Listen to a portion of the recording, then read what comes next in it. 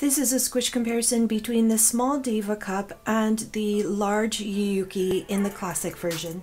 Don't forget that you can compare these cups with other cups that I have on hand by visiting the link in the description below.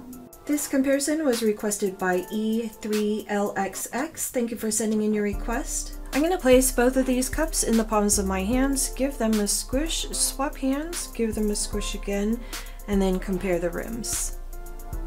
Here is the inside of the small Diva cup.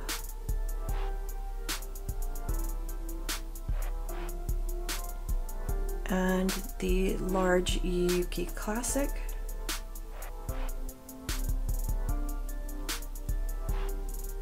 Inside of the Yuuki. And the Diva.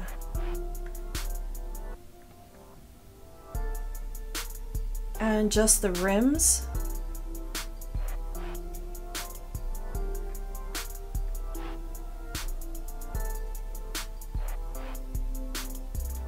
And that was the small Diva cup and the large Yuuki in the classic version.